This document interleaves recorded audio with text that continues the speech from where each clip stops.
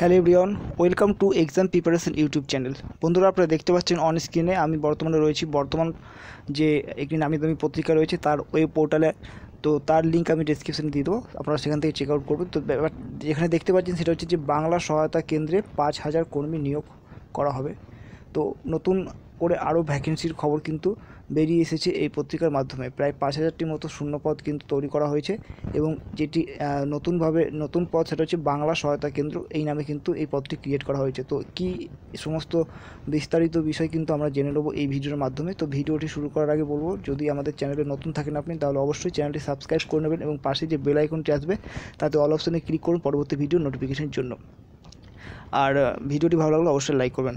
আরেকটা কথা, আপনারা যদি এই সময় যদি বোর হয়ে যান, তাহলে একটু এন্টারটেনমেন্টের জন্য অবশ্যই আমাদের আরেকটা নতুন চ্যানেল আছে। তো আপনারা সেই চ্যানেলে চেক আউট করতে পারেন। তো আমি তার লিঙ্ক অবশ্যই ডেসক্রিপশনে দিয়ে দেবো। আপনারা সেই চ্যানেলটি অবশ্যই একবার গিয়ে চেক আউট করুন। যদি আপনাদের ভালো লাগে, কিছুটা হলো এন্টারটেনমেন্ট হয়, তাহলে অবশ্যই আমাদের সেই চ্যানেলটা সাবস্ক্রাইব করবেন এবং পাশে বেল আইকনে ক্লিক করবেন পরবর্তী ভিডিও নোটিফিকেশনের জন্য। একদম ফ্রিতে সেখান থেকে আপনারা অবশ্যই ভালো ভালো ভিডিও পেয়ে যাবেন। ঠিক আছে, তার লিঙ্ক আমি ডেসক্রিপশন বক্সে দিয়ে দিচ্ছি। এবার পুরো ভিডিওটাতে চলে আসি। তো এই যে কৌশিক ঘোষ নামে রিপোর্টার তিনি কিন্তু এই রিপোর্টটি আজকে অন- অনলাইনে মিলছে বিভিন্ন সরকারি পরিষেবা, কিন্তু সাধারণ মানুষ এখনও এই ব্যবস্থায় সড়গড় নন। তাদের হাতের নাগালে এই পরিষেবা পৌঁছে দিতে চালু হচ্ছে বাংলা সহায়তা কেন্দ্র। রাজ্য বাজেটে ঘোষিত এই প্রকল্পের জন্য এবার প্রায় সাড়ে পাঁচ হাজার কর্মী নিয়োগের প্রক্রিয়া শুরু করল মুখ্যমন্ত্রী মমতা বন্দ্যোপাধ্যায় সরকার। গোটা রাজ্যে মোট দু হাজার সাতশো এগারোটি কেন্দ্র চালু করা হবে। প্রতিটি কেন্দ্রের জন্য দুজন করে ডাটা এন্ট্রি অপারেটর নিয়োগের প্রক্রিয়া শুরু করেছে সরকারি সংস্থা ওয়েবেল টেকনোলজি লিমিটেড। সম্প্রতি সংস্থার chief executive officer Somnath Chattopadhyay প্রত্যেক জেলাশাসককে চিঠি দিয়ে এই কর্মী নিয়োগের কথা জানিয়েছেন।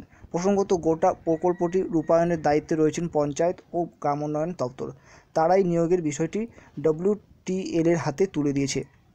এই সংস্থাটি বিভিন্ন সরকারি চাকরি সরকারি দপ্তরের তথ্য প্রযুক্তি সংক্রান্ত কাজের জন্য চুক্তিভিত্তিক কর্মী নিয়োগের কাজ করে থাকে। বাংলা সহায়তা কেন্দ্রেও সেই একই প্রক্রিয়া অনুসরণ করা হবে। ডব্লিউটিএল এর পক্ষ থেকে জেলা শাসকদের জানানো হয়েছে, বাংলা সহায়তা কেন্দ্রে পরিকাঠামো প্রস্তুত থাকলে এখনই কর্মীদের সেখানে পাঠানো হবে। অন্যথায় পরিকাঠামো তৈরির পর যাবেন কর্মচারীরা। প্রতি কেন্দ্রে